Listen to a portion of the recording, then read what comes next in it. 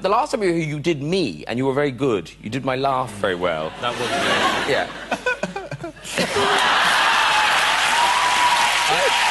it's. Do you do lots of people? Are you one of those actors? No. Yes.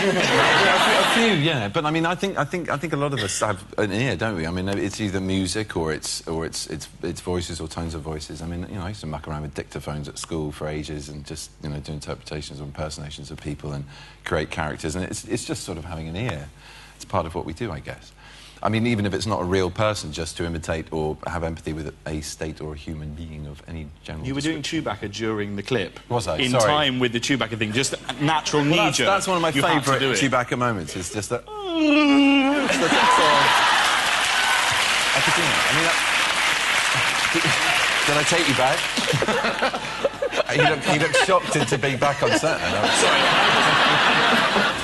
part of that they say I'm a diva. And they said that I do my own makeup, but I can tell you, a real diva would never do her own makeup. so that part is also ridiculous. Now, can we be honest, Mary? The final bit of the final, those wedding cakes, they were piss poor, weren't they?